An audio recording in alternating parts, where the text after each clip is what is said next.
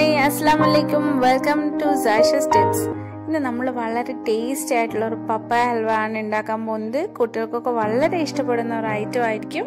അതിന് നമുക്കൊരു പഴുത്ത പപ്പായ ഒരുപാട് പഴുത്തതല്ല ജസ്റ്റ് ഒന്ന് പഴുത്ത പപ്പായ എടുത്ത് ഒന്ന് ചിരണ്ടി എടുക്കാം. അല്ലെങ്കിൽ ഗ്രേറ്റ് ചെയ്തെടുക്കാം. ഇനി അത് നമുക്കൊരു പാനിൽ ഈ പപ്പായ നമ്മൾ ഗ്രേറ്റ് ചെയ്തത് ആഡ് ചെയ്ത് ചിരണ്ടുകയോ ഗ്രേറ്റോ ചെയ്തെടുത്തിട്ട് ഒന്ന് നമുക്കൊന്ന് വയറ്റി കൊടുക്കാം. വെള്ളം ഒന്ന് വാർന്നു വരുന്നത് വരെ വെള്ളം ഒന്ന് വറ്റുന്നത് വരെ നമുക്കൊന്ന് ജസ്റ്റ് ഒന്ന് വയറ്റി എടുക്കണം വെള്ളം ഒന്ന് അതിൽ വെള്ളം ഒന്ന് വറ്റി വറ്റി പോകേണ്ടതാണ്. അപ്പോൾ നമുക്ക് ചൂടാക്കി എടുക്കേണ്ടതുണ്ട്. ഇനി അതിലോട്ട് നമുക്ക് ആവശ്യത്തിന് മധുരം.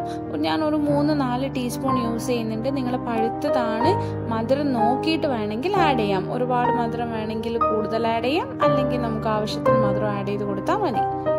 ഇനി നമുക്ക് ഇത് ഇടയ്ക്ക് ഇളക്കി ഇളക്കിക്കൊണ്ടിരിക്കണം. ഇതുപോലെ വെള്ളമൊക്കെ ഒന്ന് വറ്റി വറ്റി വരണം. അപ്പൊ നിങ്ങൾ ആദ്യമായിട്ടാണ് ഈ ചാനൽ കാണുന്നതെങ്കിൽ താഴെ കൊടുത്തിരിക്കുന്ന സബ്സ്ക്രൈബ് ബട്ടണിൽ പ്രസ് ചെയ്യുക അതിൽ ബെൽ ബട്ടൺ ഓൾ കൊടുക്കുക.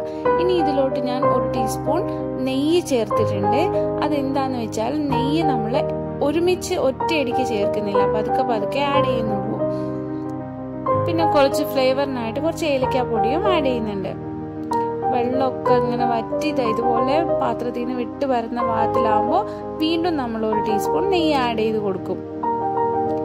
ഒരുമിച്ച് ആഡ് ചെയ്യുന്നില്ല നമ്മൾ സ്റ്റെപ്പ് വൈസ് ആണ് ഇത് ആഡ് ചെയ്ത് കൊടുക്കുന്നത്. ഒരു പ്രാവശ്യം ആഡ് ചെയ്ത് അതിൽ നിന്ന് കുറച്ച് വെള്ളമൊക്കെ വറ്റി കഴിഞ്ഞിട്ട് വീണ്ടും നമ്മൾ നെയ്യ് ആഡ് ചെയ്യുന്നുണ്ട്. ഇതുപോലെ പാത്രത്തിൽ നിന്ന് വിട്ട് വരുന്ന ഭാഗത്തിലാവണം നമുക്കിത് വെന്ത് കുഴഞ്ഞ് നല്ല ഹൽവ പാകത്തിലാവുമ്പോൾ അതിലോട്ട് നമുക്ക് നട്ട്സ് നിങ്ങൾക്ക് ഇഷ്ടമുള്ള നട്ട്സ് ആഡ് ചെയ്ത് കൊടുക്കാം കേട്ടോ അത് ഗ്രേറ്റഡ് നട്ട്സ് ആണ്. എന്താ ബദാം അണ്ടിപ്പരിപ്പ് അതെന്ത് വേണമെങ്കിലും കശുവണ്ടി ബദാം എന്ത് വേണമെങ്കിലും ആഡ് ചെയ്യാം. നന്നായി ഒന്ന് ഇളക്കി വേവിച്ചതിന് ശേഷം നമുക്ക് ഏതെങ്കിലും മോൾഡിൽ ഷേപ്പിൽ മാറ്റി വെക്കാവുന്നതാണ്. ഞാൻ എന്റെ അടുത്തുള്ള ഒരു മോൾഡിനുള്ള ഈ ഷേപ്പ് ആയതുകൊണ്ട് ഇതിലോട്ട് മാറ്റി വെക്കുന്നത് നിങ്ങൾക്ക് ഏത് ഷേപ്പ് വേണമെങ്കിലും യൂസ് ചെയ്യാം.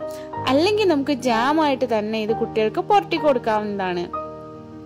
നമ്മുടെ ഹൽവ റെഡി ആയിട്ടുണ്ട്. പപ്പായ ഹൽവ നല്ല ടേസ്റ്റി ആണ് നല്ല സ്വീറ്റ്സ് ഇഷ്ടപ്പെടുന്നവർക്ക് ഉറപ്പായിട്ടും ഇഷ്ടപ്പെടും. അപ്പം എല്ലാവരും ട്രൈ ചെയ്ത് നോക്കണം. ഇഷ്ടപ്പെടുകയാണെങ്കിൽ ലൈക്ക് ചെയ്യുക ഷെയർ ചെയ്യുക കമന്റ് ചെയ്യുക. Bye bye.